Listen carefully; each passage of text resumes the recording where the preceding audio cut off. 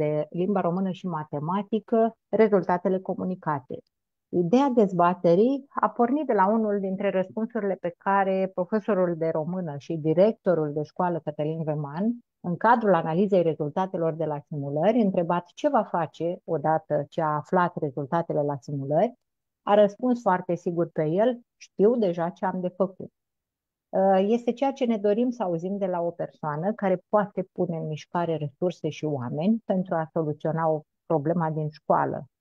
Uh, de asemenea, am descoperit că domnul Zaman nu e singur, ci sunt foarte mulți directori de școli și profesori dedicați care caută și pun în practică soluții pentru ca elevii lor să fie cât mai bine pregătiți pentru examenele din vară. Dincolo de clișee cum sunt inerția sistemului, găsim oamenii imoși care văd în rezultatele de la simulări o analiză de etapă, nu o condamnare, și fac tot posibilul să le acorde elevilor lor a doua șansă. Vrem să aflăm cum procedează ei, să ne inspirăm din soluțiile lor și să îi încurajăm pe cât mai mulți directori și profesori să le urmeze exemplul. Astfel, împreună cu partenerii și prietenii de la proiectul Merito, organizăm această dezbatere, de asemenea împreună cu invitații noștri. Și invitații noștri sunt următorii. Anca Botoroagă, profesoară de limba engleză și director Merito 2021 la școala gimnazială Aurel de Cei din Gura Râului Sibiu. Bine ai venit, Anca, și îți mulțumesc. Anca Dediu, profesoară... Mulțumesc. Anca Dediu, profesoară merito pentru învățământul primar și director la școala gimnazială Emil Panaitescu din Cudal, județul Galați. Bine v-am găsit! Mulțumesc că ai venit, Anca. Antoneta Împușcatu, profesoară de științe și director merito 2019 la școala gimnazială Ion Creangă din Ice Brătianu, județul Tulcea. Mulțumesc că ești aici, Toni. Mulțumesc și eu, mare Cătălin, drag. Cătălin Zaman, profesor merito 2021 de limba și literatura română și director la școala gimnazială învățător Nicolae Ispas din Ulmeni, Clondiru, Buzău. Mulțumesc, Cătălin! Mulțumesc și eu, Dona, pentru invitație. Bună seara tuturor! Și Mihaela Mihailescu, profesoară de istorie și directorul școlii gimnaziale numărul 1 din Independența, județul Galați. Bună seara tuturor! Mulțumesc, Mulțumesc că ești aici, Mihaela, și că ai acceptat invitația noastră. Um, în situația în care rezultatele de la simulări nu au fost neapărat pe măsura așteptărilor voastre, uh, aș vrea să discutăm ce soluții au la dispoziție școlile și în particular școlile voastre, pentru a-i ajuta pe elevi să obțină o note mai bune la examenele din vară. Practic, noi uh, ne aflăm în fața unor rezultate și privim aceste rezultate ca pe un punct de început pentru pregătirea care urmează în următoarele trei luni până la examenul real. Um, care sunt soluțiile pe care le-ați identificat în școlile voastre?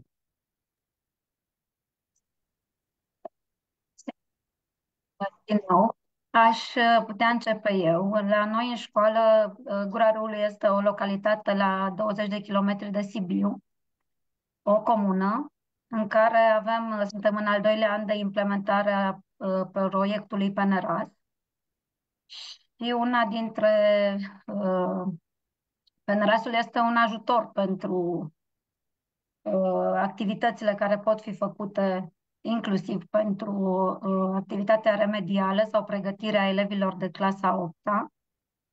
Și am avut deja întâlniri cu profesorii și am stabilit uh, să lucrăm în perioada următoare în cadrul proiectului pe grupe mai mici, uh, să stabilim uh, grupe de uh, nu neapărat de nivel, ci copii care au avut, au întâmpinat probleme la uh, anumite părți din uh, simulare și să se lucreze uh, țintit pe aceste probleme identificate.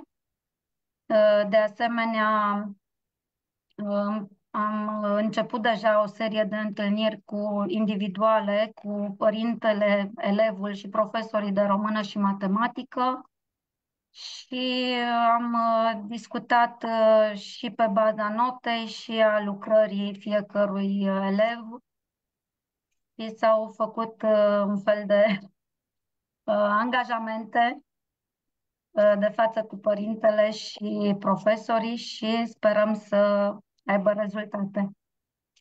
Deci ați început deja planurile și măsurile concrete. Da, astăzi am avut primii părinți care au venit la întâlnirile cu profesorii de română matematică la care am participat și eu. Și sperăm să conștientizeze importanța timpului rămas până în final de iunie și mm. să facă tot ce pot să profite de ceea ce noi ca și școală și profesorii din școală le oferim. Uh, sigur. Care ar fi um, alte măsuri și alte activități pe care le-ați, uh, le-ați început în școlile voastre? Mulțumesc. Îmi permiteți? Sigur, Toni. Uh, reprezint o școală foarte mică Uh, grupul de copii care au participat la evaluare a fost de șapte copii. Noi nu ne așteptam la aceste rezultate care pentru noi sunt uh, rezultate bune, sunt uh, elevi care au funcționat în sistem simultan din clasa pregătitoare până în clasa 7, acum lucrează singuri la matematică și română, dar întotdeauna aceste simulări au reprezentat acel duș rece a copiilor și pentru profesori, pot să spun. Ehm, noi, imediat în ziua în care am primit rezultatele vineri, ehm, am stat de vorbă repede cu copiii și apoi am intrat în vacanță și acum suntem în școală altfel. Primul lucru pe care îl facem, am intrat în posesia borderourilor și mie mi-a părut bine că am intrat în posesia lor pentru că alături de colegele mele ne putem da seama care sunt competențele uh, specifice vizate pe care nu le-au atins uh, copiii respectivi. Adică pot să iau copilul, pot să iau uh, itemul și să văd care este gradul de realizare a acestuia. Uh, foarte puțin. Pentru primul item am făcut cu copiii, dar vă spun, suntem în școală altfel și e o relaxare așa uh, în clasă. Dar ei când au văzut că avem posibilitatea asta să le arătăm că de fapt la matematică, pentru mm. primul item, mă leg de matematică pentru că mie mi este mai ușor, pentru primul item, ei nu au reușit să uh, aleagă varianta corectă pentru că nu știu să efectueze uh, operații aritmetice simple, atunci uh, în planul pe care urmează să îl alcătuim, și pe care intenționăm să-l facem pe elev, personalizat, vom trece aceste lucruri și uh, vom face seturi de exerciții pentru competența uh, uh, de care are nevoie să ajungă la performanță, la progres.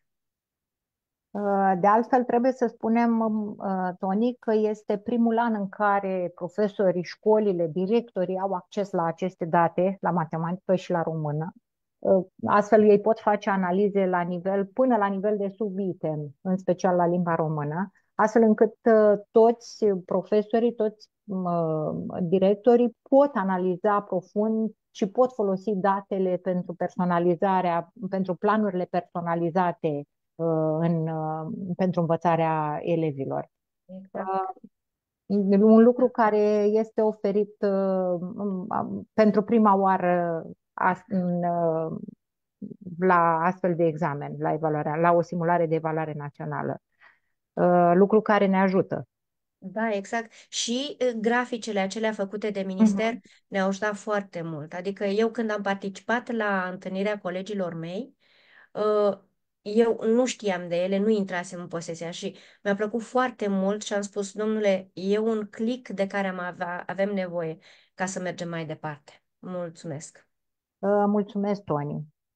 Uh, Dacă aș putea continua eu.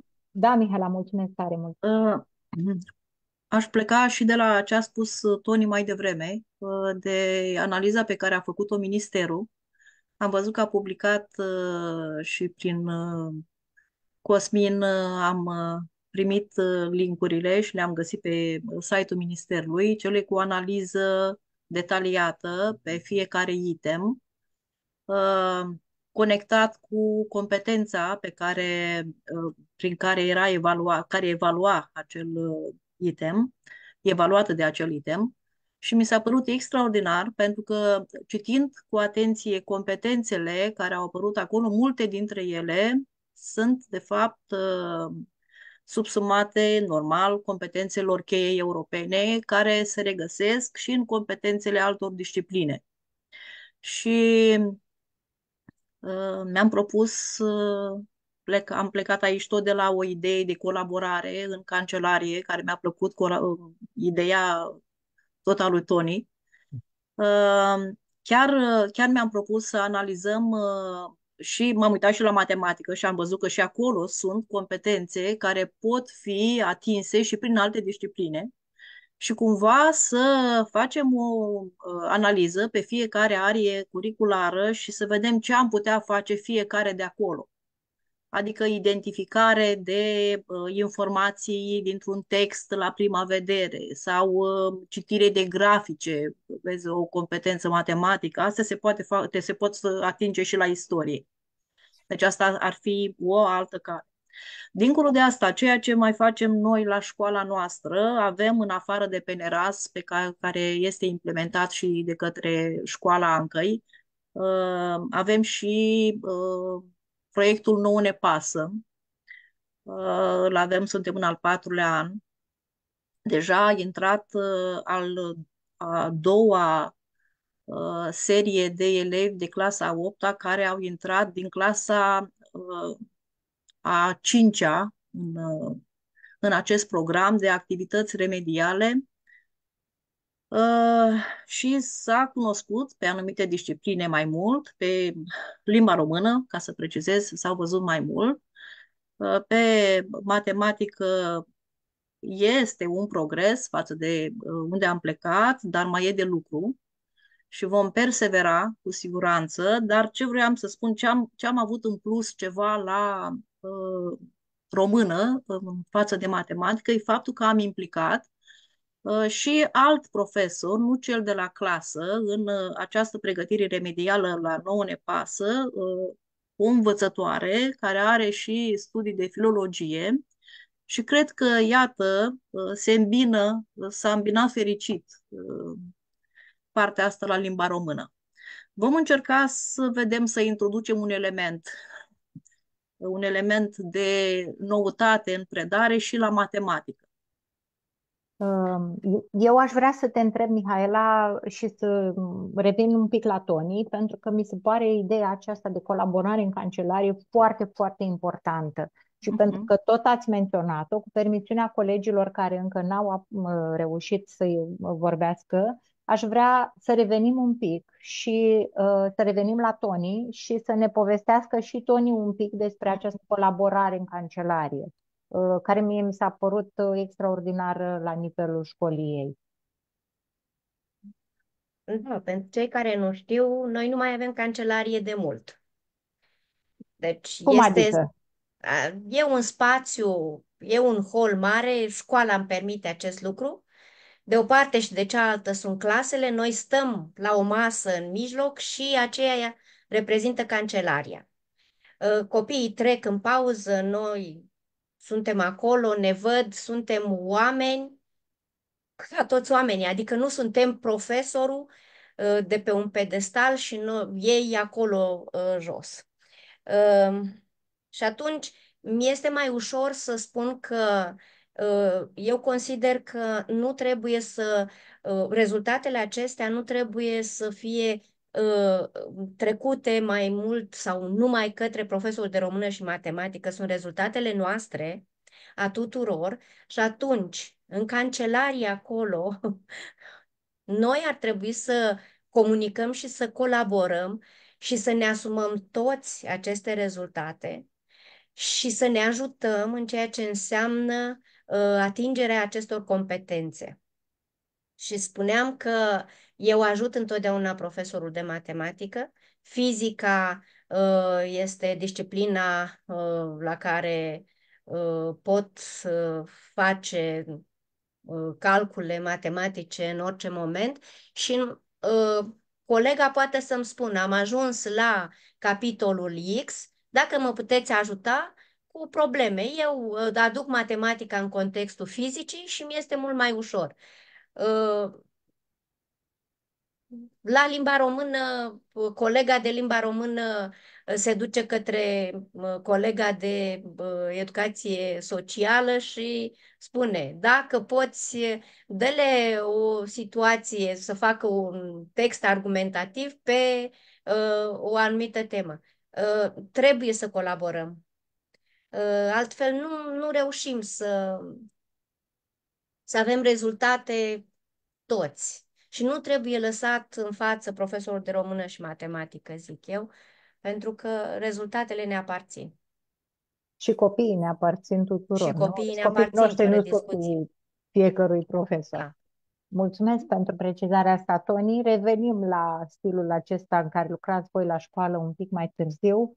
Um, ne întoarcem către Cătălin, cel care, de la care a pornit uh, toată ideea acestei, acestei dezbateri. Trebuie să am grijă ce spun, că după aceea cine știe ce mai iese. Nu uh, e cazul. Cred, cred că suntem la un moment, l-aș defini eu un moment T1, nu T0. Uh, pentru că noi am mai avut posibilitatea unei simulări județene în luna noiembrie și sunt două repere uh, importante. Dacă aveam ceva de făcut în luna noiembrie, obligatoriu trebuie să continuăm sau să schimbăm ceva acum în luna martie. Așa cum spunea și uh, Bogdan Rațiu zilele trecute, uh, rezultatele acestea nu trebuie privite ca, ca o tragedie. Doar că uh, ele trebuie conștientizate și uh, trebuie luate măsuri concrete, nu generale. Așa cum vorbeam uh, zile trecute cu voi, cred că e important să stabilim în urma uh, raportului pe care Ministerul l-a dat, în urma a ceea ce am identificat fiecare profesor la clasă pe lucrările respective, ce carențe au copiii noștri, va fi destul de greu să lucrăm cu ei individual. Ideal așa ar fi să, să, să lucrăm individual, să mergem fix acolo unde uh, e problema respectivă. Dar am putea crea uh, niște. Uh, am putea crea uh, grupe de lucru uh, pe un anumit nivel, astfel încât să putem acoperi uh, toate nevoile uh, copilului. Și uh, cred că 4-5 astfel de grupe la nivel de clasă ar fi, uh, ar fi ideal. Uh, pornim de la, uh, de la faptul că toți cei trei factori implicați în evoluția copilului trebuie alertați cumva și atunci, clar, cred că toți am avut discuții cu, cu părinții, cu elevii, cu părinții și elevii deopotrivă, astfel încât să stabilim foarte clar fiecare ce are de făcut în perioada următoare. Uh, aud și am auzit deseori vorbindu-se uh, că ar trebui dublate orele de, de pregătire, dar să știți că ele pot fi și triplate dacă ceea ce se întâmplă acolo, pentru că avem niște rezultate, avem 60% dintre uh, copiii noștri n-au obținut note de trecere la matematică, da? Uh, dacă ceea ce se întâmplă acolo, în orele acelea, nu se schimbă față de ceea ce a fost înainte, putem ține și 10 astfel de ore suplimentare. Ar trebui identificat concret ce nu am făcut bine, pentru că e clar că ceva n-a, n-a funcționat, ce urmează să facem și să, să le spunem copiilor, pas cu pas, ce avem de făcut, pentru că ei ne pot ajuta să atingem uh, uh, rezultatele pe care le dorim de altfel, de, la, de altfel cu toții. Uh, Trebuie lucrat. Acum am și avantajul că uh, sunt profesor de română. Trebuie lucrat aplicat. Trebuie intensificat lucru pe variante, variante de examen, astfel încât copiii să fie obișnuiți cu uh, astfel de modele. Trebuie avut un feedback uh, cât, se, cât de mult se poate la nivel individual. Eu intenționez să uh, dau două, trei teste de lucru la final de săptămână pe care luni copiii să le aibă pe masă corectate, cu sfaturi individuale pentru fiecare. Cu siguranță performanțele vor crește în, în, în ritmul acesta, în felul acesta. Vom mai da la nivel de școală două, trei simulări, ideal una pe lună, adică uh, martie, aprilie, mai, pentru că deja în iunie uh, ajungem cam la final. Uh, și cam atât. Și de ce, de ce spun că ar trebui date simulările acestea? Pentru că noi trebuie să cuantificăm cumva progresul acesta, progresul sau regresul lor. În răspunsuri individuale la clase ne pot păcăli sau ne putem înșela. Și atunci evaluarea aceasta scrisă este uh, ideal. Um, mulțumesc, Cătălin. Ai vorbit și ca un profesor de română. Uh, dar uh, aș vrea să, te întreb, să vă întreb pe toți de altfel, din punctul de vedere al directorului de școală, care este rolul directorului de școală, acela pe care conducătorul școlii trebuie să și-l asume în a furniza, în a da copiilor, o, a asigura copiilor o pregătire mai bună pentru, în aceste trei luni pentru mm, aceia care au rezultate, care au avut rezultate mai slabe, dovediți uh, de, de simulare. Eu zic că, profesor, că directorul trebuie să fie prezent.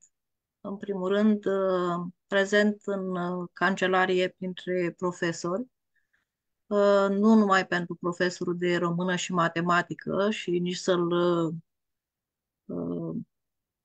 blameze, ca să spun, pentru rezultatele pe care poate nu ne le-am dorit, um, să comunice cu părinții și cu elevii, să fie cel care e principalul uh, promotor al reflexiei, reflexiei pe care uh, aș solicita-o nu numai profesorilor, ci și elevilor și chiar părinților, pentru că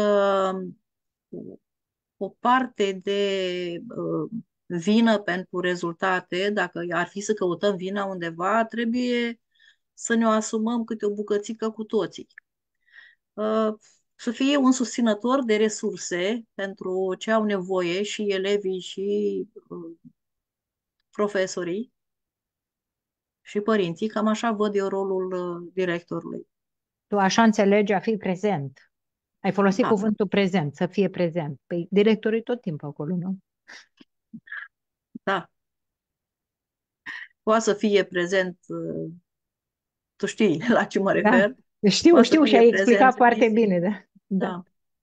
Am vrut doar să accentuăm lucrul acesta. Uh, te, să, și să, te rog, te rog, Cătălin. Cred că avem, din câte văd, avem 86 de persoane uh, aici, în Zoom. În mare parte, cred că directori și cred că toți au făcut lucrul ăsta. Dar eu aș veni uh, să accentuez ceea ce a spus Tony mai devreme. Trebuie să ne asigurăm ca directori că elevii noștri au parte în zilele următoare, în perioada următoare, de un plan de intervenție personalizat. Am auzit uh, voci care spun că sunt mulți elevi, că e greu să faci planul de intervenție personalizat. Cum am putea, să le, cum am putea ce, le, să le cerem doina elevilor să muncească mai mult dacă noi nu muncim? Cum putem să spunem elevilor să intensifice uh, modul de a lucra, de a studia, dacă noi nu ne implicăm și noi la momentul acesta? Ar însemna că pasăm cumva problema doar în partea cealaltă a clasei. Da, avem o întrebare din Zoom. Doamna Alexandra Dragomirescu ne întreabă dacă la simularea județeană copiii au avut acces la borderourile profesorilor și cum a schimbat apariția borderourilor modul în care sunt gândite planurile remediale. În Galați nu s-a dat încă. Dacă îmi dați voie, borderourile da, au ajuns la noi, nu neapărat au ajuns în fața copiilor.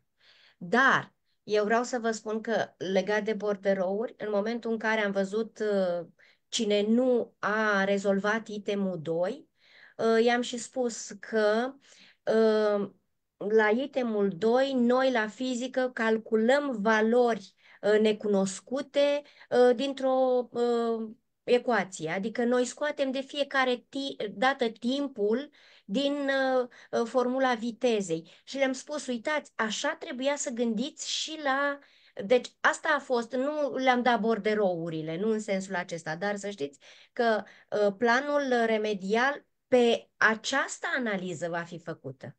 Exact, ă, se va merge la copil, la ce a rezolvat, la ce n-a rezolvat și ce nevoie va avea în perioada următoare. Ă, dacă pot să intervin, ă, Anca, te rog. la noi chiar am și trecut la punerea în practică a acestor planuri, le-am și profesorii mei din, din școală le-au și întocmit pentru că cu ajutorul borderourilor și după discuțiile cu copiii au putut identifica foarte clar uh, carențele și atunci uh, și-au stabilit niște ținte uh, directe și pe, pe fiecare elev și chiar discutam cu unul dintre colegii mei de matematică astăzi și întrebam, zic, ai avut vreunul pe care, care n-aș știut să facă primul subiect la cu ordinea operațiilor, eu fiind învățătoare și mă roade că nu știu încă să mai fac. Și ce mă, chiar am avut și am zis, hai să Zic, trimite la învățătoare. Zic, trimite la învățătoarele de clasa 4 pentru că asta predau ele acum, în perioada asta. Și ca să-i motivezi să vină, și eu vorbesc cu colegile să-i și pună la treabă, le mai promiți un punct în plus la următoarea notă. Încercăm să facem chestiile cât mai concrete și am ajuns să, să îi împingem de la spate pentru că ne dorim pentru ei să aibă rezultatele uh, de care au nevoie ca să ajung acolo unde își doresc. Noi am discutat și eu am discutat de multe ori cu ei, că ajung, chiar dacă sunt învățătoare, să uh, în clasele de a opta și i-am întrebat, am luat pulс, unde vreți să ajungeți, ce vă doriți să, ajung, să studiați mai departe și am venit și cu uh, mediile de admitere din anii trecuți și am zis, uitați, de ce aveți nevoie? Deocamdată voi sunteți aici, hai să tragem ca să mai ridicăm și să vă îndepliniți visul. Uh, am încercat să aducem și elevi care au ajuns la uh, licee mm, pe care ei și le doresc și să le vorbească și să mm, le dea aripi, așa, să, să tragă de ei, pentru că lipsește foarte mult motivația. Dar eu cred că mai avem șanse și știm din experiența anilor trecuți că orice simulare și județeană și națională îi mai trezește și pe ei și pe noi și luăm toate măsurile necesare ca, să, ca să-i ajutăm. Nu pentru a ne crește nouă, nu știu ce, promovabilitate, ci pentru a le asigura lor un, un viitor.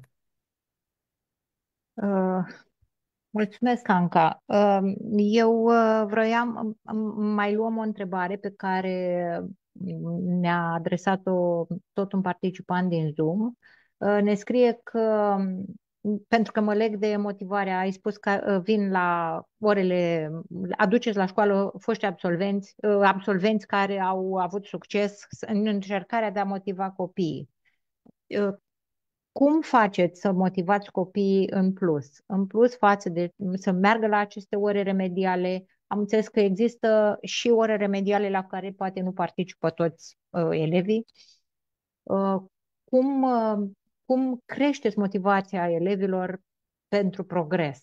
Cum îi ajutăm să se angajeze împreună cu noi în, uh, în uh, progres, în uh, progresul pentru învățare? Aș putea să intervin eu aici pentru că avem de mulți ani instituit un sistem de uh, recompensare a celor care depun efort mai mare pe parcursul unui an școlar. Uh, și beneficiem pentru asta de sprijinul unui sponsor fost elev al școlii care uh, asigură, acum s-a mai alăturat încă un sponsor, tot o fostă elevă a școlii, și care ne sprijină în, în acest uh, proces de, de uh, promovare a celor care uh, muncesc mai mult, așa le spunem. Cei care muncesc mai mult, pentru că putință au, au foarte mulți aproape toți, dar cei care depun efort trebuie promovați și recompensați. Și spuneam că acest uh, fost elev, acești foști elevi, iată, susțin de mulți ani, în afară de premiile de la final de an școlar, organizăm uh, de 10 ani de acum uh, o excursie pe timpul verii pentru, de 3 zile pentru aproximativ 45 de elevi în fiecare an. De asemenea, uh, copiii de Crăciun, tot acești copii, cei mai buni, iar am, am picat da. într-un clișeu, cei mai buni. Uh, Cei cum care îi selectați muncesc. pe aceștia? Da, cum îi selectați pe aceștia? Care sunt copiii? Păi, cu rezultatele cele mai bune sau care rezult... au avut progresul cel mai mare? Uh, cei cu rezultatele cele mai bune, uh, am, revin și la cei cu progres. Cei cu rezultatele cele, cele mai bune și cei care se implică și în activități extracurriculare. Deci care nu sunt cei care au neapărat rezultate foarte bune, dar se implică și în alte activități de la nivelul școlii și le dăm uh, premii uh, de Crăciun. Acum, uh, pentru cei care înregistrează progres, prin PNRAS avem și aici un capitol bugetar, acela de compensare prin excursii și tabere a elevilor care au înregistrat progres, care au o constanță în a participa la activitățile de remediere și care au înregistrat cel mai mic progres uh, intră în această listă și care vor fi beneficiare ai acestor uh, excursii. Sunteți norocoși că aveți uh, absolvenții aceștia care își permit să dea sponsorizări. Da, da. Bun, ați făcut... Chiar așa ne consider. Da, da, chiar sunteți. Ați făcut planul individualizat, ați pus la cale planul remedial, ați vorbit cu toți profesorii și v-ați înțeles cu toți profesorii din clasă. Cum puneți în mișcare planul? Cum gestionați programul de pregătire pentru elevii care au obținut rezultate mai slabe? Uh, cum stabiliți punctul de plecare? Cum alegeți modul optim de lucru concret? Cum se gestionează un astfel de program? Dacă nu vreau să acaparez, dar uh, termin eu repede și după Nici aceea dau colegilor mei. Uh, uh, programul la școala 1 Independența, tot o școală mică, nu este o școală... De fapt, sunt două școli sub această pălărie a școlii Independența. Faptul că am, suntem mai puțini, iată, are și un avantaj, și anume acela că ne desfășurăm programul într-un singur schimb. Și pentru că avem șansa asta, uh, programul la noi la școală începe de la ora 9. Începând de la ora 9, uh, putem uh, particulariza și programul de pregătire în funcție de orele și ale profesorilor, dar și de orarul elevilor. Astfel, în anumite zile începe programul de pregătire de la ora 8 sau în alte zile se continuă după terminarea programului. Uh, programul de pregătire câte două ore în uh, fiecare zi. Deci dacă este de la 8, uh, poate să fie în două zile la rând. Și sau două ore după ce se... Dar atunci este, intră și uh, hrană. Avem uh, masă caldă și prin nouă nepasă și prin uh, peneras. Uh, totodată, pregătirea se face pe grupe valorice. Nouă ne pasă clar a cerut asta, Peneras a cerut asta și noi chiar uh, insistăm uh, pe acest lucru, să lucrăm pe grupe valorice pentru a-i ajuta cât mai cât, să-i lăsăm și pe cei care au mai multă nevoie uh, să se manifeste uh, mai încurajator, să simtă suportul profesorului mai mult, pentru că în prezența celorlalți care au rezultate mai bune, ei, glasurile lor nu s-ar auzi. Um, totodată, plecând de la ceea ce ne-a oferit uh, acum aceste borderouri, dacă tot s-a pus o întrebare aici, este extraordinar.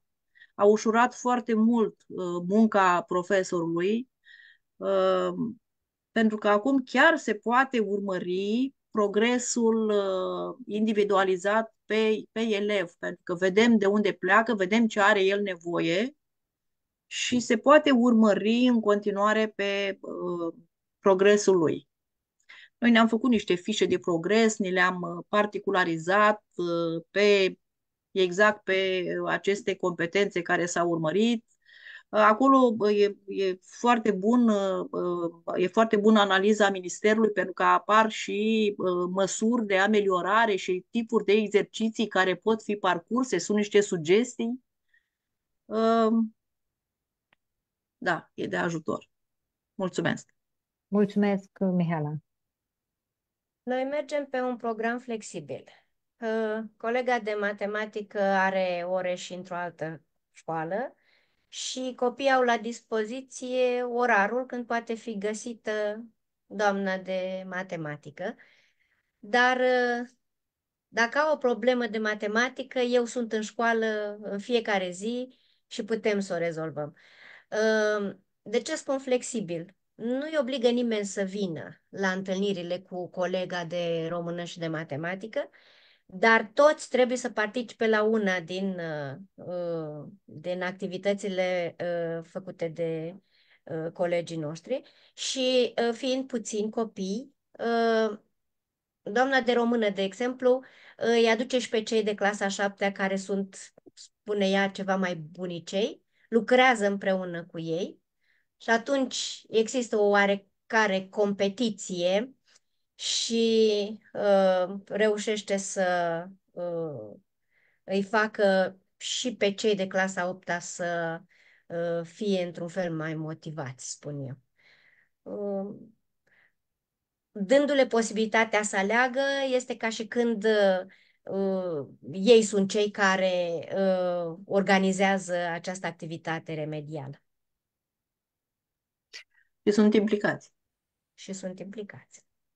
Sunt parte activă. Uh, da. Um, ai spus, Mihaela, că și Penerasul și nouă Nepas au cerut grupe valorice. Uh, avem întrebare de la cineva care ne urmărește din Zoom care ne spune așa, cum se determină grupele valorice în condițiile în care în programă nu sunt stabilite parcursuri diferite pe niveluri de competență. În funcție de rezultatele la fiecare item din subiectele de la simulări sau în funcție de un set de standarde de performanțe pe care le stabilesc împreună profesorii de matematică și de română. Înainte de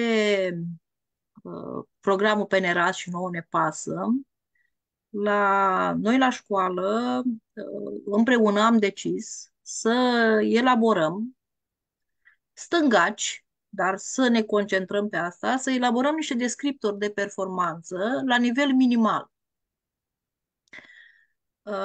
Pentru că duceam lipsa asta, cumva navigam în ape tulburi nu? Ce erau, rămâneau mulți corigenți, erau în fiecare vară mulți corigenți și la română și la matematică și zis, domnule, trebuie să facem ceva. Dacă ei învață mai bine fără noi, pe timpul verii, decât cu noi, în timpul... Deci e o problemă undeva. Și atunci hai să vedem, ei trebuie să știe dinainte ce le cerem noi. Da? Deci acești nu facem descriptori pe toate cele trei nivele, de nivel minim, mediu și maximal, la nivel minimal și le spunem, uite, asta trebuie să știți voi pentru 5-6. Și asta să facem la fiecare disciplină. Și așa am făcut. Uh, am făcut grupele acestea uh, după testarea inițială. După aceea, pe parcurs, o, aceeași, o, o altă testare cu aceleași, uh, vizând aceleași competențe în evaluare, se dădea la finalul semestrului întâi. Dacă era progres, se ieșea din grupa 1, ca să zic așa, și mergea în grupa următoare. Și au fost. Am avut și cazuri care la testarea inițială, prin testarea inițială s-au fost plasați în grupa uh, mai puțin uh, cu mai puține cunoștințe și abilități și după aceea, în schimb, au progresat și au trecut la grupa următoare. Deci, Uh, Acum, în schimb, da. Penerasul are, are regulile lui Mhm. Uh, și la fel și nouă ne pasă. Și s-au luat rezultatele școlare pe parcursul unui an școlar, deși și la nouă ne pasă, avem, uh, primim teste uh, de evaluări inițiale și de parcurs care se aplică um, doar ca să verifice că se face un progres, dar ei sunt intrați în program. Din mai, mă rog, la nou ne pasă sunt mai multe criterii care intră, care sunt luate în calcul, inclusiv cel socioeconomic, dar bineînțeles și uh, cel al rezultatelor școlare. Trebuie să se încadreze, să fie până în șapte la... Iar uh, Penerasul are regulile lui, din SIR, de acolo, și cu dirigintele analizează, sunt niște criterii cu absențe, cei care au mai mult de 20 de absențe pe semestru, dacă au fost repetați vreodată, intră automat în grupul țintă și uh, medii mai mici de șapte iar sunt incluși în grupul țintă. Ei, uh, iar grupul țintă variază de la an la an pentru că se face această evaluare, ca să spunem așa, în fiecare, la fiecare început de an, screening-ul elevilor. Am înțeles. Și un pic legat de PNRAS. Uh, Noi ne-am stabilit încă de la început, de când am depus proiectul, ca în grupul țintă să fie tot gimnaziul. Uh, Avem uh, parte de remedial pentru cei care sunt în grupul țintă de uh, risc de părăsire timpurie a școlii, cum zicea și Mihaela, care au acei cinci indicatori, uh, măcar unul din cei cinci indicatori uh, uh, bifați cu da în SIR, dar am considerat că este important să facem activități pentru toți elevii școlii și atunci noi avem tot gimnaziul, adică aproximativ 160 de elevi uh, care participă la activități și în două zile pe săptămână avem aceste uh, activități după primirea ma- uh, mesei calde. Uh, Ce vreau să spun legat de uh, întrebarea uh, citită mai devreme, uh, și anul trecut am făcut aceste activități începând din martie și profesorul de matematică îi uh, selecta după criteriile lui de la clasă pe cei cu care uh, să facă activități în uh, uh, anumite zile, deci nu era o grup, grupă permanentă, ci se schimbau grupele. Și ceea ce a uh, observat și el și a observat și copiii, că uh, participând în grupe mai mici și pe, cam pe același nivel la aceste activități remediale, au înțeles mult mai bine, au avut mult mai mult timp să iasă la exerciții și să uh, facă ceea ce să întrebe și să facă ceea ce n-au înțeles. Uh, și uh, consider că este un lucru bun și anul trecut s-a văzut la evaluarea uh, națională, la examenul final uh, din vară, participarea la aceste activități, uh, care consider că sunt uh, foarte bune și condiția este doar uh, copiii să înțeleagă importanța lor și să participe la ele. Uh, Iar pentru asta un lucru important este colaborarea cu familia și de aia ziceam la început că am avut acele și o să avem acele întâlniri uh, și cu părintele și cu elevul, mai ales la clasa 8 unde e acum uh, arde, uh, pentru a uh, înțelege mult mai bine de ce e important să participe și să întrebe în primul rând, pentru că e important și asta, să spună ce nu înțeleg și să îi încurajăm să facă acest lucru. Uh, Cam uh, asta legat de întrebarea cu grupele. Uh, Ce mai avem și Apropo vreau de să gestionarea programului, da. Da, este uh, catalogul, noi avem catalog digital care ne uh, poate da rapoarte de progres pe fiecare elev și uh, am uh, stabilit uh, cu uh, colegii să Acum nu vreau să repet uh, sau să repet ce a zis Mihaela, dar prin PNRAS, într-adevăr, putem avem fonduri la dispoziție să facem excursie și am stabilit să facem excursie cu cei care până la sfârșitul lunii mai au progres și participă la uh, aceste activități remediale, având un grup țintă așa de mare, 45, adică un autocar este destul de puțin, deci probabil o să fie în jur de 90 de elevi participanți la aceste excursii. Și cred că uh, sunt uh, îi motivează, da. Ce mai avem tot prin PNRA, am reușit să achiziționăm un ecran de proiecție foarte mare de 4 metri și tot pe baza progresului unei clase, și nu doar la învățătură, ci, ci și la disciplină, să le, să-i premiăm clasa care are în fiecare lună cele mai bune rezultate cu o seară de film în, pe acest ecran mare. Foarte... Sunt lucruri mici, dar care chiar îi motivează pe copii. Nu mai simte diferența între anul trecut și anul acesta? Sau, mă rog, se, se simte diferența de când implementați PNRAS-ul? Uh, eu zic că sunt schimbări și uh, noi ne-am propus indicatori de progres uh, realiști, n-am uh, uh visat la 100%, dar uh, se simte, uh, cel puțin în privința abandonului, avem uh, mult mai puține cazuri și avem elevi care au revenit la școală anul acesta după un an sau doi de stat acasă, ca să zic așa. Și uh, cred că și la rezultate o să fie uh, bine. Uh, mulțumesc, Anca. Mihaela, spuneai da. ceva?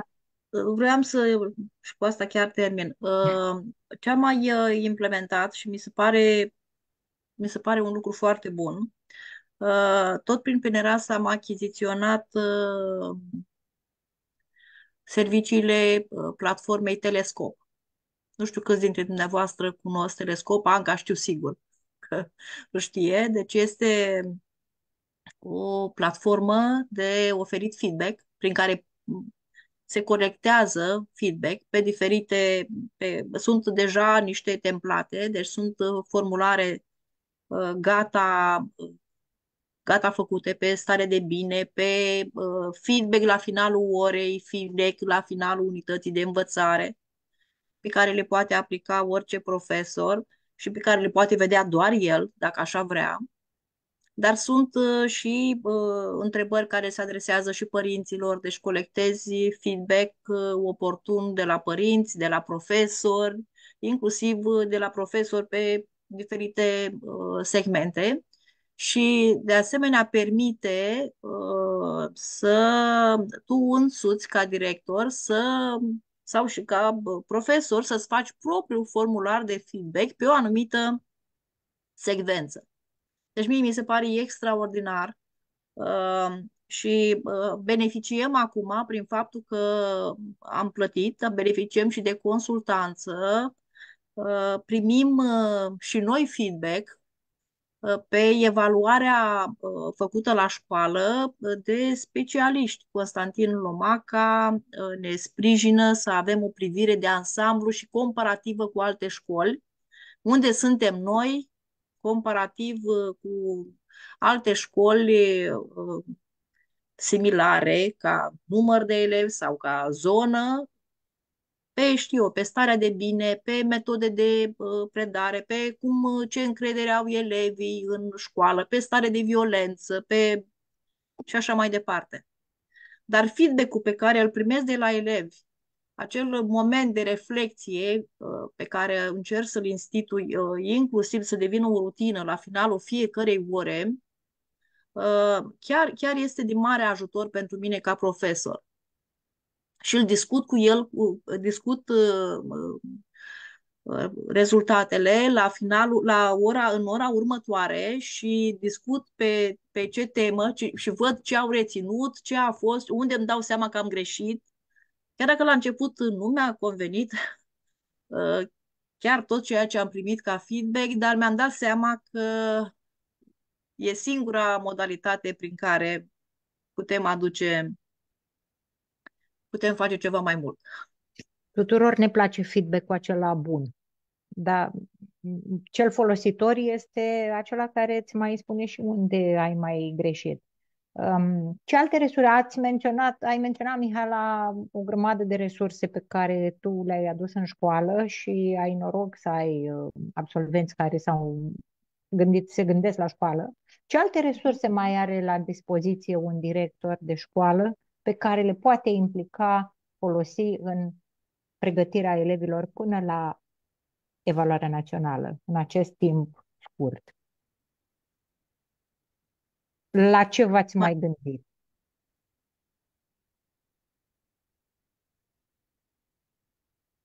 Ai întrebat pe mine? pe toți? Am întrebat pe toată lumea. Tu ne-ai spus o grămadă de resurse. Am, uh, am întrebat pe toată lumea. V-ați mai gândit la, și la alte resurse pe care le puteți, uh, le puteți uh, folosi? În primul rând, ca director, poți urmări parcurgerea ritmică a materiei, uh-huh. astfel încât uh, pe uh, parcursul care a mai rămas, uh, profesorul să parcurgă integral materia.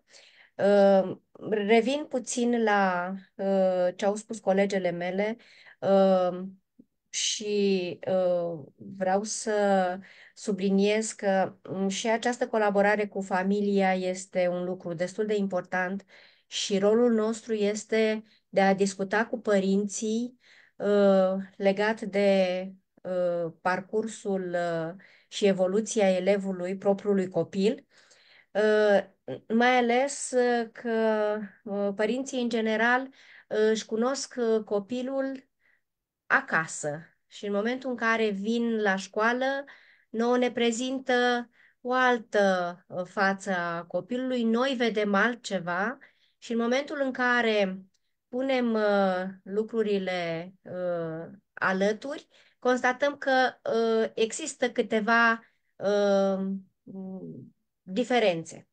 Uh, părintele trebuie să fie prezent și el în viața școlii, astfel încât în fiecare moment, de acum încolo, după fiecare uh, testare uh, cu modele de tip simulare sau evaluare națională pe care le facem, să o analizăm, să o facem analiza împreună cu uh, el.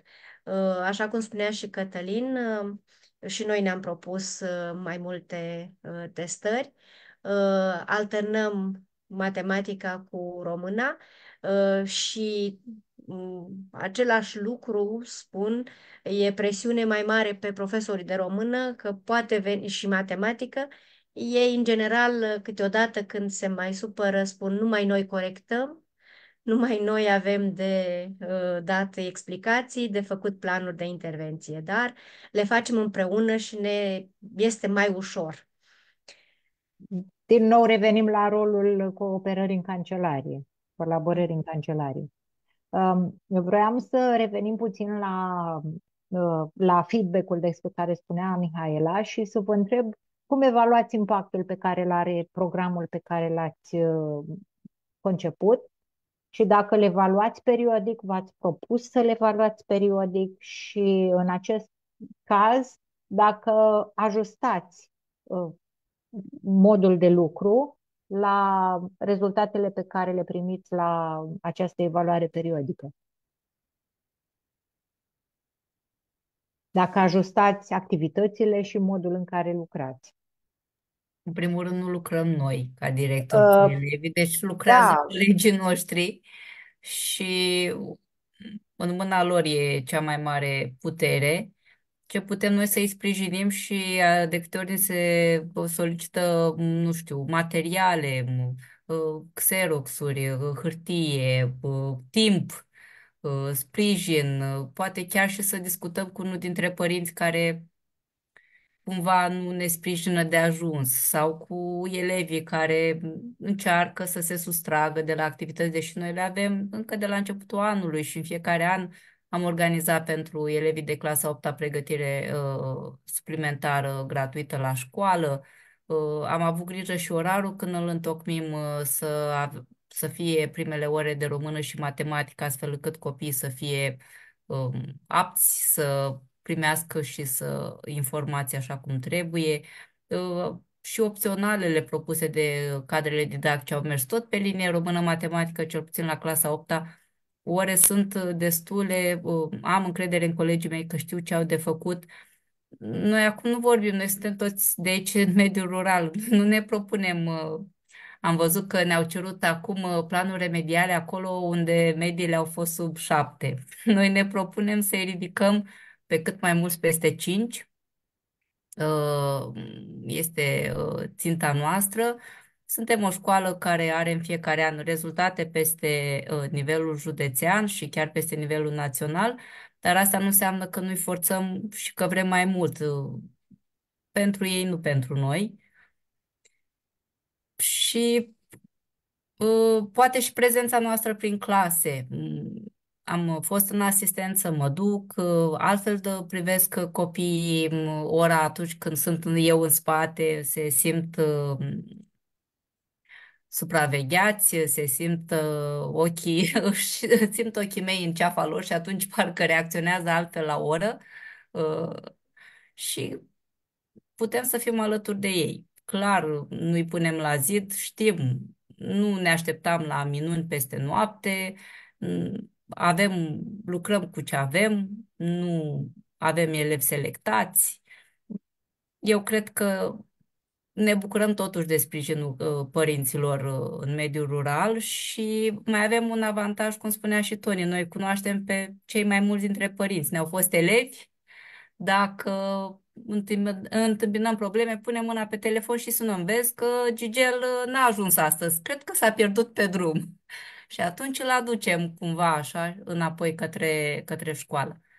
Uh, Am Prezența este da. bună la activitățile de pregătire.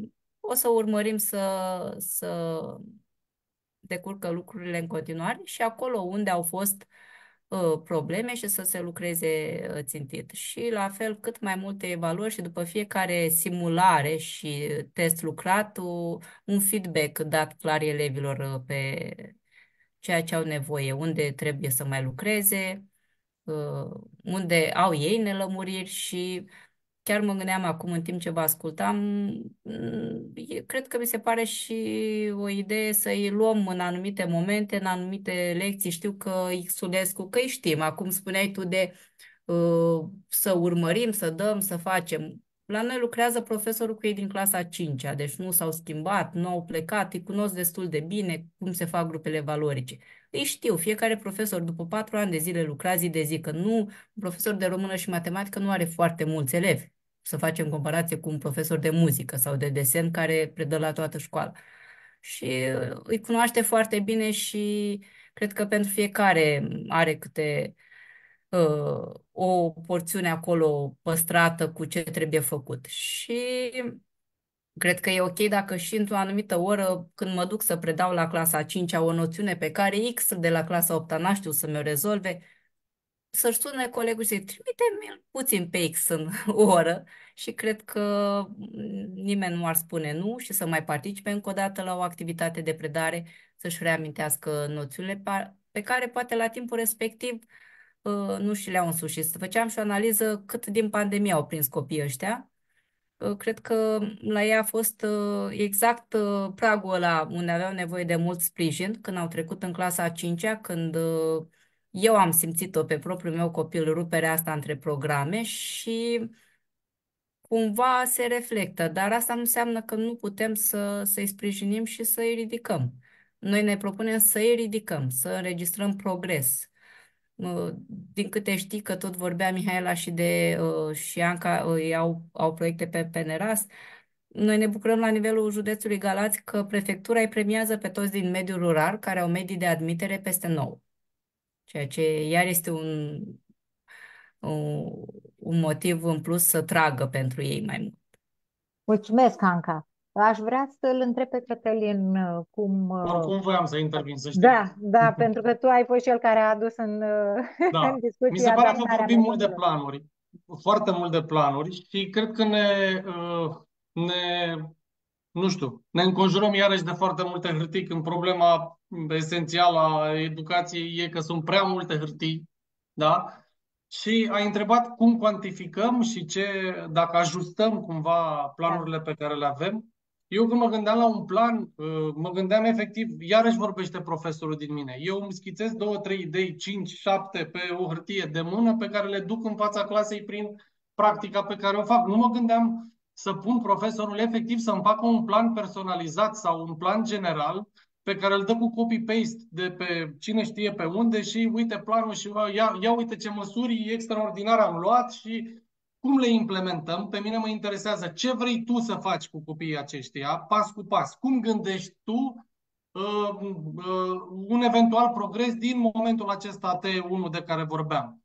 Simulările alea de care vorbeam eu, pe care le vom da la fiecare uh, lună, ne arată exact dacă ceea ce am făcut în luna respectivă a fost bine sau a fost rău. Pentru că dacă în urma simulării suntem la același nivel, e clar că măsurile pe care le-am luat nu sunt corespunzătoare. Acum o să spuneți că într-o lună ce, aș, ce am putea face? Păi n-am putea face mare lucru, dar de exemplu, eu am trei copii care au luat 4,65. Mă gândesc că într-o lună aș putea să-i ridic peste 5. Da? Adică scopul nostru, așa cum zicea Anca, trebuie să fie nu realistic, mai mult decât realistic. Ce putem face cu copiii pe care îi avem? Pentru că tuturor ne-ar, ne-ar plăcea să avem doar note de 10 sau doar note peste 9 și să avem o medie națională extraordinară, iar presa să buiască, da? Dar pe noi ne interesează practic ce putem face cu copiii aceștia. Eu am doi copii, spre exemplu, în clasa 8 ai căror părinți sunt analfabeți, ei nu știu să scrie. Ce aș putea să le cer? Adică am avut o întâlnire cu ei, au venit la uh, școală. Ce să le cer eu copiilor, uh, părinților uh, lor a doina? Ei și-au trimis copilul la școală, da? Uh, mai mult de atât ei n-au ce să facă. Îi îmbracă, îi sprijină, ei se duc la muncă. Mi-au zis, noi ne ducem să muncim, dar pe ei nu-i punem la muncă, să vină la școală. Da, sunt unii de etnie romă, alții sunt români, nici nu contează chestia asta. Contează că acei părinți mi s-au părut mult mai conștienți decât alții care ar putea să-și ajute uh, copiii mai mulți și nu o fac. Din punctul meu de vedere, ei și-au făcut treaba trimițând copiii aceia la școală. Urmează să-și facă școala treaba pentru ei. Iar școala trebuie să găsească măsuri concrete, realistic vorbind, v-am zis, așa, să ne înglodăm de hârtii, să aruncăm niște planuri pe o hârtie din care să rezulte sau să nu rezulte mare lucru, uh, iarăși nu, nu cred că suntem ancorați în ceea ce trebuie să facem. Ce trebuie să facem? Trebuie să muncim. Noi, profesorii, uh, ei, profesorii de română și matematică, mă refer aici și la mine, pentru că v-am zis, uh, poate fi un defect al meu, profesional, și să aducem în situație concretă, reală, progresul ăsta al lor, să-l cuantificăm. Nu-l putem cuantifica uh, cu un feedback uh, pe care îl obținem. Ți-a plăcut măsurile luate? Da, ne-am distrat foarte bine. Păi nu, că progresul real e acolo, pe hârtie. Și pe noi ăla ne interesează. Uh, nu ne interesează, scuzați-mă, ghirlandele, acadele și uh, alte chestii din astea. Acum, poate că am fost un pic prea dur, prea acid, prea, dar cred că e momentul să ne axăm pe situații concrete, practice. Concrete, da. Uh, plan, uh, bine, și situațiile concrete. Bun, înseamnă planul, înseamnă să faci planul să te duci la ori și să lucrezi cu copiii, evident. Nu ne refeream neapărat și nu cred că se referă nimeni doar la planul pe hârtie și pus uh, în ramă undeva. Și ai foarte mare dreptate când spui lucrul ăsta. Avem o întrebare um, o doamnă care ne urmărește, doamna Pană Carmen, spune așa, ar fi oportun să ne gândim la planuri remediale, la activități remediale sau la soluții de învățare eficientă pentru elevii de până în clasa 8 -a? Cum lucrăm la clasele anterioare ca să împiedicăm astfel de rezultate în clasa 8 -a? Întreb acest lucru pentru că atunci când avem o clasă luată de la a 5-a, sigur știm cu cine avem de-a face și către ce tinde fiecare copil. Uh, e bună întrebarea. O să intervin tot eu pentru că aș fi vrut să uh, completez. Uh, a subliniat una dintre colegele mele ideea asta. Cred că tot Anca sau Toni, nu mai știu exact. Oricum, în momentul în care ai, ai copii de 4 ani, adică simularea aceasta îți arată cam pe unde nu prea au mers lucrurile și adică nu poți reconstrui din momentul acesta, că n-ai cum să reconstruiești ție ți arată eventual anumite scăpări pe care le-ai avut în pregătirea elevilor ăstora. Uh, poate că din cauza anumitor detalii n-ai văzut alte detalii semnificative. Adică, cred că înainte de simulare, profesorul de română și de matematică era conștient ce copii trimite acolo și cu câte lipsuri și care sunt lipsuri. Sau cel puțin, după trei ani și jumătate, așa ar fi trebuit să fie. Pentru că uh, nu cred că, sau dacă există vreun astfel de profesor care se îmbată cu apă rece și spune lasă-i că pe aici nu se descurcă, dar vedem noi ce or face acolo, cred că se minte. Adică, clar, întrebarea, adică e subliniat foarte bine, e subliniată foarte bine treaba asta. Știm foarte, pregătirea pentru examenul de evaluare națională începe din clasa 5 -a. Nu începe la începutul clasei 8 Sigur, și de asemenea știa, ar fi trebuit să știe foarte bine și directorul de școală la ce nivel, nu, e, nu numai profesorul. Încerc să iau de pe, neapărat de pe numărul profesorilor neapărat și să această greutate și să o plasăm inclusiv pe umărul directorului, pentru că este, are un rol esențial, directorul are un rol esențial în toată pregătirea elevilor din școala lui. Um, sunt, vorbeai da. de părinți, da, da. Și, și eu da, aș dori să subliniez acest lucru. Rezultatele uh, la evaluarea națională în acest moment nu sunt rezultatele clasei a 8 -a, ci sunt rezultatele celor patru ani de matematică sau pot să spun nouă ani de matematică făcute de către elevii noștri. Uh, e adevărat, ne punem întrebarea ce s-a făcut în cei patru ani de zile până să ajungem să avem rezultate la matematică sub 40%. Dar uh, problema e la noi, fără doar și poate. Eu întotdeauna spun că uh, și îmi ajut colegii de matematică și pentru că ei vin tineri fiind din facultate cu uh, o abordare academică ce nu poate să ajungă la uh, inima copilului de clasa a 5-a. Și atunci uh, încercăm să uh, eu cel puțin încerc să-l aduc cu picioarele pe pământ și să-i spun că până la urmă dacă nu-l aduci pe copil să înțeleagă și să îndrăgească matematica, tu n-ai să reușești în clasa 8 să-l uh, faci să uh, aibă rezultate la uh, evaluare. Uh, de aceea nu este rezultatul unei singure clase, ci este rezultatul a atâtor, a atâtor ani de uh, matematică făcut. Mă leg de matematică pentru că mi este mai la inimă. Și uh, spunea Cătălin că uh, hârtii, planuri și eu sunt împotriva acestora. Dar dacă ai dat testare periodică și imediat ai făcut o analiză uh, comparativă și îi spui copilului, uite care-i treaba. Uh, în primul test, acum două săptămâni, n-ai făcut itemul acesta. A, uite, ai progres. Îl și motivezi, îl încurajezi, îi dai o speranță. Zic eu că așa trebuie lucrat în perioada următoare. Și așa am lucrat, să știți, ani de zile cu uh, colegele mele, pentru că, uh, așa cum spuneau, uh, copiii de la țară, uh, ai noștri nu muncesc foarte mult la câmp, uh, acasă, dar eu le spun așa, uh, haideți să alegem autostrada către Galați. Pentru că voi trebuie să ajungeți elevi la uh, Galați. Aș vrea puțin să intervin și eu, dacă Tony a terminat. Sigur. Pe idee. Uh, legat de dacă profesorul știe și rezultatele astea la simulare confirmă sau nu. Uh, sunt convinsă că profesorul știe care este nivelul unui copil, de la clasa a 5 după un an de zile știe, după a 6 a 7 normal că la 8 ai știe pe toți. Pentru mine nu cred că asta este important. Ci ce a făcut el în momentul în care a văzut că între a 5 el abia a trecut clasa la o anumită disciplină, la a șasea la fel, la a șaptea și a ajuns la opt, așa acum ne mirăm să facem planuri remediale. Deci problema, dacă îi cunoaștem, păi trebuie să mișcăm ceva acolo.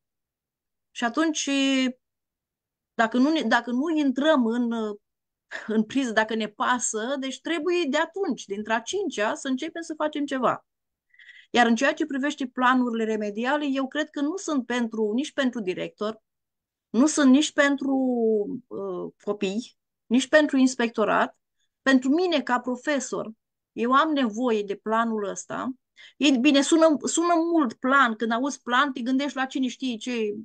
Eu aș vrea să știu, uh, e, e un plan, e o, o chestie de disciplină pentru mine, ca, ca profesor. Uh, făcând planul ăla și punându-l pe hârtie, eu am mai clar în minte pe ce linie trebuie să merg. Eu așa văd planul ăsta de care se vorbește.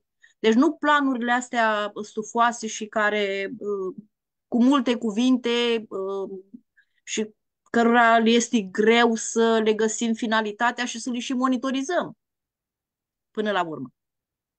Uh, sigur, uh, suntem uh, până la urmă, așa cum am vorbit și cum am subliniat aici, este vorba de o cultură pe care directorul o, impli, o imprimă școlii. Deci la asta aș fi vrut să ajungem, pentru că nu, și de asta am spus că nu trebuie să lăsăm toată greutatea pe umerii profesorului de română și a, profesorului, ai profesorului de matematică. E vorba despre o cultură pe care, care pornește de la director și merge peste tot în cancelarie, așa cum povestea Tony în așa zisa cancelarie pe care, pe care au, o au ei acolo. Aș vrea să-i dau cuvântul domnului Mihai Peticilă de la EduPedu, care vrea să adreseze o întrebare invitaților noștri. Vă rog, domnule Peticilă. Bună seara, mulțumesc frumos pentru Bună seara. Să vă adresez o întrebare. Felicitări uh, Casei Corpului Didactic, felicitări proiectului Merito și felicitări dumneavoastră că vă implicați în uh, asemenea discuții. Uh, cred că vocea dumneavoastră trebuie să se audă uh, și să acopere tot ce înseamnă uh, partea de specialiști, între ghilimele. Um, acum, întrebarea este, din ce observăm noi de pe margine, nefiind implicați direct în, în școală, e că cumva în ultimii ani a existat o uh, disoluție, nu știu, mai mult sau mai puțin voită, a ceea ce înseamnă evaluare în, în educație. Adică au fost scoase tezele, uh, apoi evaluarea a lăsat de înțeles că la evaluarea națională uh, subiectele se mai pot uh, rezolva, pot fi calibrate, Ehm, și bineînțeles că lucrul ăsta poate, nu știu, pe copil îl lasă foarte mult timp uh, liniștit. Adică nu prea mai am nici semestre ca să mai dau niște lucrări uh, în momentul ăla și să recapitulez. Uh, dau o lucrare foarte, foarte târziu, dau această simulare și voi vedea ce fac la evaluarea națională. Întrebarea mea este, dumneavoastră simțiți că în acest moment copiilor le e prea lejer Uh, în școală parcă nu mai au aceeași motivație pentru că nici nu sunt obișnuiți să mai dea foarte multe teste, poate, creează, poate apare aici și o anxietate de testare. Vă întreb pentru că specialiștii OECD care au venit să analizeze datele PISA spuneau în luna decembrie că uh, sunt pentru testare ca obișnuință și că ar trebui să existe testare mult mai multă și fără miză atât de mare pentru ca elevii să o simtă ca pe o chestie absolut banală, absolut normală și pentru ca noi toți, dumneavoastră, în sistemul, de ce nu și presa, să vadă în orice moment unde este un, un copil prin raportare la, la medie, prin raportare la el față de anul trecut, prin raportare la colegi. Ă, asta ar fi întrebarea. Îmi cer scuze că a fost atât de lungă, dar ați înțeles pe esență. Două, două lucruri pot eu, vă rog? Sigur, sigur Cătălin. Mulțumim, domnule. Uh, am putea sigur evalua fără presiunea aceasta a rezultatelor, dar ce ne facem că examenele importante pe care copiii noștri le dau, să știți că sunt cu presiunea rezultatelor. Și atunci uh, ei reacționează în cu totul alt mod. Adică, uh, într-un fel sau altul, eu am înțeles, am înțeles întrebarea dumneavoastră, dar sunt copii care resimt uh, presiunea asta a examenului cu miză. Uh, eventual, uh, dacă tot uh, evaluăm fără miză, să schimbăm modul de admitere. Pentru că dacă îi obișnuim să fie evaluați fără miză, atunci când vine miza s-ar putea să reacționeze un pic neașteptat. Vorbeați de o disoluție a evaluării dumneavoastră, da? Dar eu aș veni cu o completare și pe mine m-ar interesa, pe mine ca director, ca om care urmărește procesul acesta educațional, m-ar interesa oare nu există o disoluție a evaluării, a felului în care evaluează anumiți profesori? Pentru că ar trebui să urmărim câți dintre acești copii care au intrat sub 5 la evaluarea națională a matematică au un medii peste 8. E mega important felul în care evaluează și profesorul la clasă. Da? Și atunci discrepanța asta, pentru că nu poți apărea în fața uh, unor părinți să spui, domnule, lucrurile sunt în regulă. Copiii vin, la, vin, la, vin acasă cu o medie pe anul școl, anii școlari trecuți, 8, 9, 10, mă rog, 7, 8, 9, 10, părintele este suficient de liniștit că lucrurile stau bine acolo, da? Și te, se trezesc cu o notă de 3 la simulare sau cu o notă de 3 la evaluare. Ce facem în privința asta? Adică ar trebui urmărit și un raport de genul acesta, pentru că și aici se pot lua măsuri ca să preîntâmpinăm anumite dezastre, în ghilimele. Dar nu aveți, de exemplu, la dispoziție evaluările de clasa 6, să zicem, cele mai recente. Nu, la clasa, la generația asta mi se pare că nu au dat între a 6 au dat între a patra uh, evaluare. Uh, se poate face ceva concret cu evaluările de genul ăsta? Dacă ministerul le ține, noi vedem rezultatele după un an, dar presupun că dumneavoastră la clasă aveți re, rezultatele mai devreme. Se pot folosi aceste evaluări ca dumneavoastră să începeți remedialul pe care acum îl planificați și pe care l-a cerut și ministerul mult mai devreme? Da, eu consider că se pot folosi, mai ales legat de matematică și știință la clasa a șasea. Subiectele acelea sunt subiecte care îi pot ajuta pe elevii noștri la clasa a opta. Deci eu consider că sunt, uh, dacă e să uh, discut despre acele evaluări, uh, noi nu avem un feedback legat de rezultatele copiilor la clasa a șasea, a patra, a doua, acele evaluări. Uh, pentru că acolo sunt niște coduri, copiii sunt derutați, mă rog. Dar eu zic că acele evaluări periodice sunt bune. Și uh, aș dori să mai adaug aici, uh, înainte când uh, dădeam uh, uh, evaluarea națională pe uh, foile acelea uh, tip, uh, dădeam cam prin noiembrie Uh, teza o dădeam pe uh, foi tip, pentru că uh, eu îi uh, introduceam în, uh, în uh, uh starea aceea de, de examen și le spuneam, uitați, la examenul de uh, clasa 8 la sfârșit de la evaluare veți avea astfel de foi. Și într-adevăr era o, totuși o emoție simțeau copiii când dădeam uh, și zic eu că sunt bune. Uh, ce spuneam cu Cătălin și ce vom uh, face în perioada următoare, acele uh, testări periodice, eu consider că sunt bune pentru că noi lăsăm, îi ținem în priză de fiecare dată. Uh, astfel încât uh, ei să nu mai aibă timp să uh, iasă din starea de examen, de simulare acum.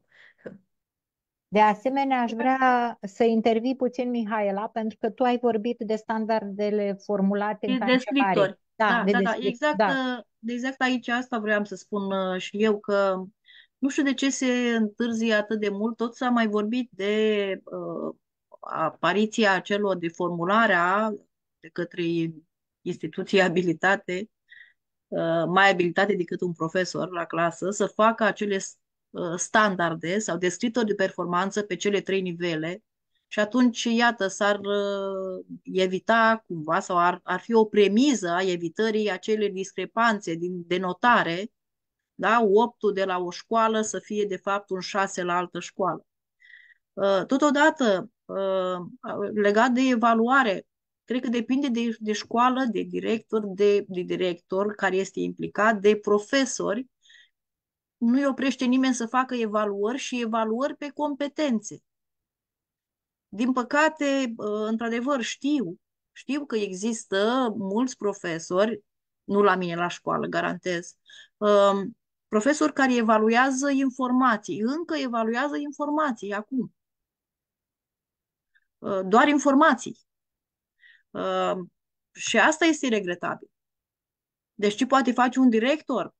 Să participe la discuțiile pe catedre, să vadă uh, teste de evaluare model, să vadă formularea lor, ce competențe, ce nivel de competență pe ce nivel taxonomic se axează, dacă păstrează un echilibru, să iasă o curba lui Gauss la uh, la final de rezultate, că dacă dă niște teste în care copiii iau toți patru, nu înseamnă că clasa este slabă.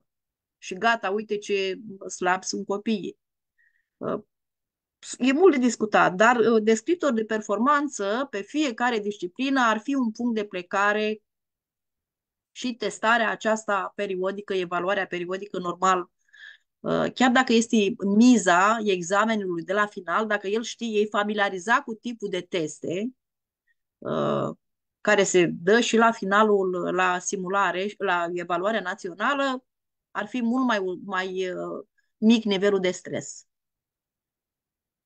Sigur, eu nu iau apărarea nimănui, eu am vrut doar să, să accentuez faptul că voi la școala voastră ați făcut acești descriptori și ați, uh, ați uh, reușit să lucrați pe descriptorii ăștia, chiar dacă nu i-ați avut de la minister.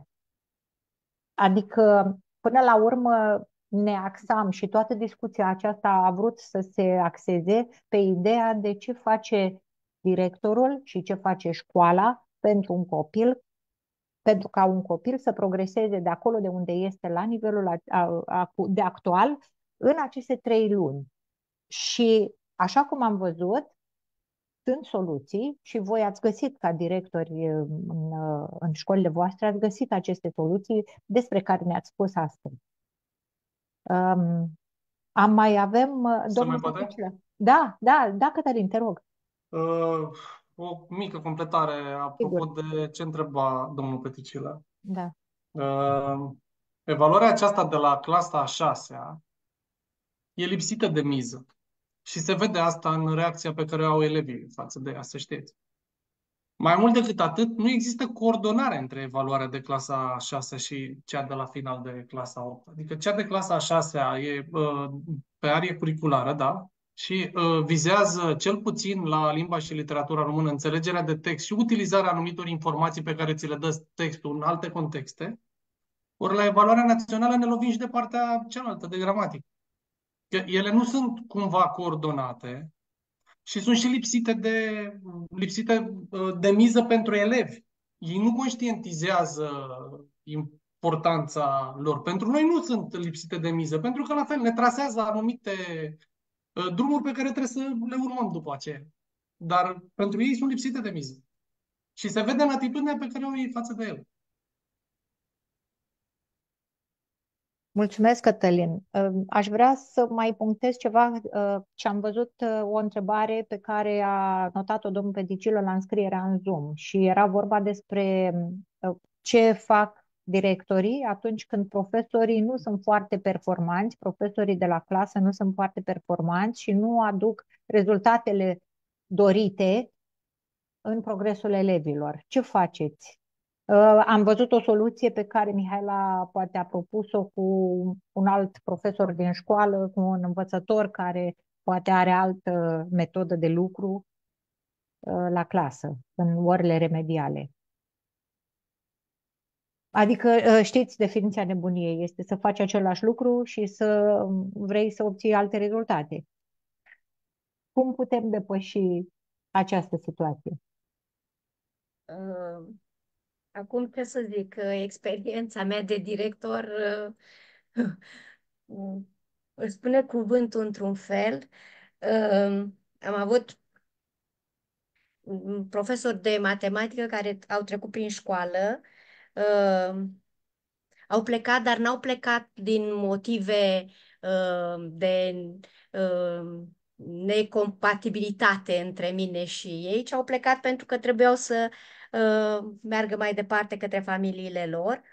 Uh, dar în momentul în care simțeam că e ceva în neregulă în ceea ce privește predarea matematicii, îmi puneam întrebarea dacă folosește eficient timpul, adică în timpul orelor poate să nu folosească cele 50 de minute de predare, învățare, evaluare, ci să se uh, aventureze și în povești și atunci mă asiguram că nu este cazul.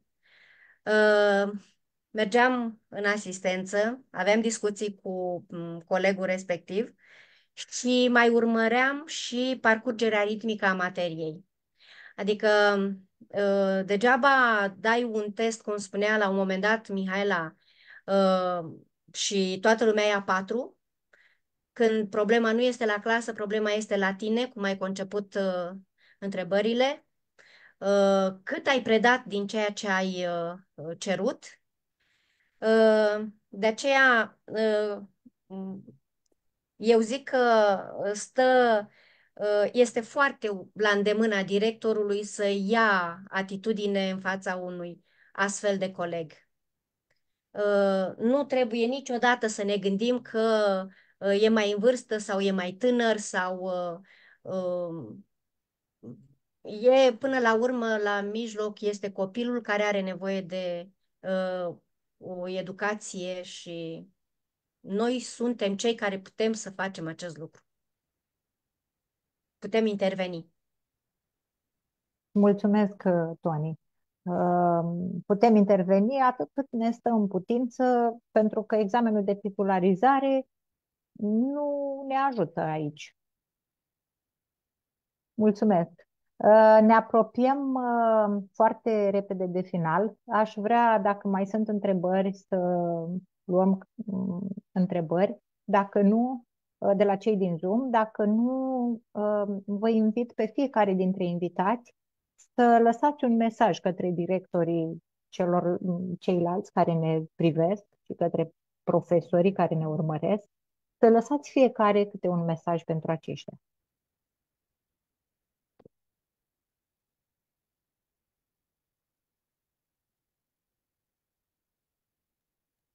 Eu...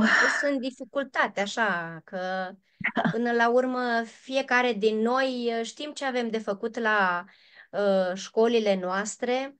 Uh, mie mi-este foarte ușor să conduc școala de la Ice Brătianu, lucru pe care n-aș putea să-l spun uh, legat de școala Ancăi, de exemplu.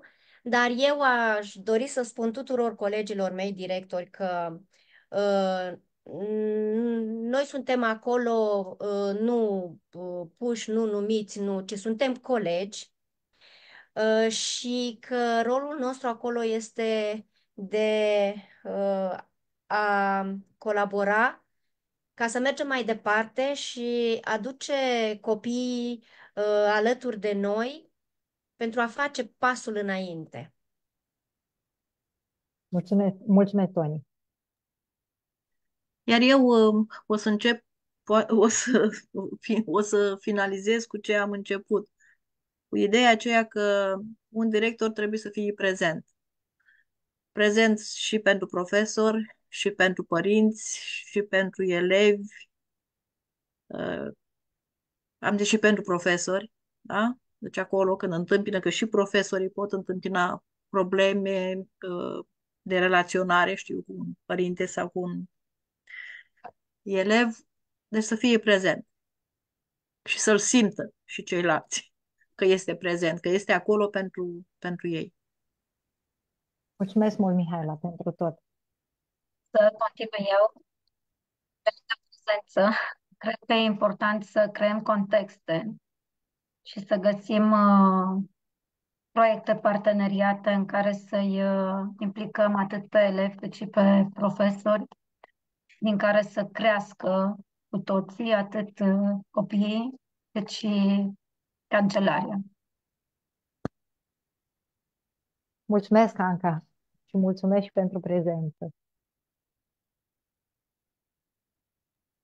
Uh, da, să, să spun și eu câteva cuvinte. Uh, sper să fiu uh, eu un exemplu pentru elevii din școala mea și pentru colegii mei, pentru că eu m-am întors director în școala în care am învățat, în școala în care uh, mi-am uh, început primii pași în cariera didactică și astăzi am ajuns director și sper să fiu uh, un, uh, un motiv și un model pentru ei și să-și dorească, să-și dorească și ei uh, să muncească, să, să-și atingă visele. Mulțumesc, Anca, mulțumesc mult. Încă eu, nu? Da, Cătălin. Să fie asumați. Să nu le fie frică să-și asume o hotărâre și să creadă în ea să o implementeze dacă sunt convinși că este bună să sprijine oamenii care au idei bune, constructive, să-i susțină, indiferent de uh, ce vine din exterior, pentru că la un moment dat uh, rezultatele vor veni. Orice idee bună, dacă e implementată corespunzător, uh, va da roată. Mulțumesc tare mult, Cătălin, mulțumesc tuturor. Uh, eu aș spune și uh, aș sublinia o idee care, pe care am scos-o din tot ce ați spus voi, și aceea că un director bun schimbă o școală și schimbând școala, schimbă viața elevilor care învață în școala respectivă. Uh, și mi-ar, îmi place ce am uh, văzut la voi, uh, așa cum sunteți voi, sunt și mulți alți directori care sunt pasionați de ceea ce fac care nu sunt blazați, care nu spun că n-au ce face, au arătat că au ce face cu resursele pe care le au la îndemână și cu uh, tot ceea ce au reușit să adune în jurul lor, ca resursă și umană și materială. Uh, eu uh, vă mulțumesc frumos că ați participat la discuția aceea, la această dezbatere, că ați luat din timpul vostru și am făcut acest schimb de bune practici. Sper ca toți care ne-au, uh, ne-au urmărit să fi luat măcar o idee bună de la voi. Uh, eu am luat foarte multe idei bune de la voi. Mulțumesc uh, prietenilor de la Merito și lui Cosmin că a stat în, în spate și ne-a susținut. Mulțumesc lui Vali Trim, care ne-a ajutat cu organizarea, la fel ca întotdeauna. Uh, mulțumesc tuturor care au fost uh, și ne care au fost cu noi și ne-au urmărit și celor care ne vor urmări de acum încolo. Uh, pentru toate acestea, Casa Corpului Didactic Galați și proiectul Merito, împreună cu profesori, cu directorii, cu organizatori, vă mulțumesc și vă mai așteptăm și altă dată la dezbaterile și la activitățile noastre comune. Mai precis când, Doina? Că cred că merită menționat de uh, Mai precis, am pregătit uh, în ziua de 15 martie, până atunci uh, vom mai vedea dacă mai facem ceva. Pe 15 uh, martie sunt comunicate rezultatele simulării la bacalaureat. Pentru aceasta avem în pregătire o dezbatere la fel pe modelul celor cu care v-am obișnuit și pe care o vom uh, ține vineri pe 15 martie, începând cu ora 17, la care vă invităm. Mulțumesc, Cosmin! Și mulțumesc tuturor! Mulțumim și noi! Seară bună în continuare! Mulțumim!